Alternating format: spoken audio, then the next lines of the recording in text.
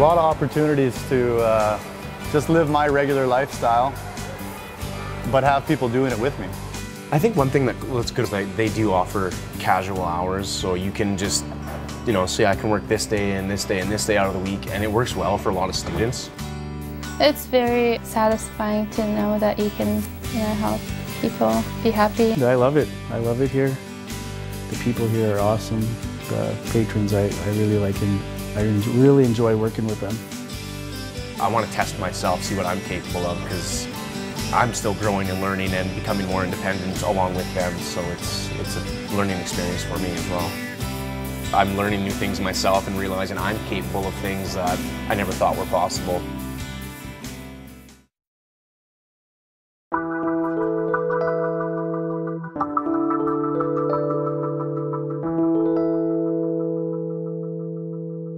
That's what I love to work with participants. They bring too much joy to your life. Just little things throughout the day just make the job that much more incredible.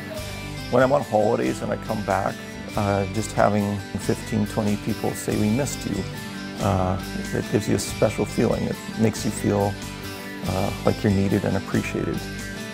And smiling and giggling and laughing and enjoying herself is, is what kind of makes it good for me because it's, uh, it's nice to know for once that I'm doing a job that actually makes a difference in someone's life. Two weeks ago when we were in the pool here, one of my residents was giving advice on how to swim in order so that he could make his lengths easier instead of working so hard. And so yeah, they encourage each other all the time. When you work alongside a staff who say, you know, if it's three o'clock in the morning and you need to talk to somebody, you call me. Uh, that's just the kind of people I work alongside each day. And uh, it just uh, means so much to me.